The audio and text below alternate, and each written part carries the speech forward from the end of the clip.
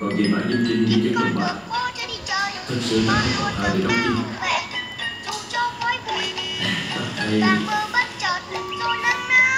Ta thấy lúc nghỉ Nghỉ ngơi cho thật Được rồi, được với 100mg vitamin C hỗ trợ đề kháng với nhiễm khuẩn và chức năng miễn dịch. Không dùng vitamin C liều cao cho người có tiền sử sỏi thận, tăng oxalat niệu và rối loạn chuyển hóa oxalat. Đọc kỹ hướng dẫn sử dụng trước khi dùng.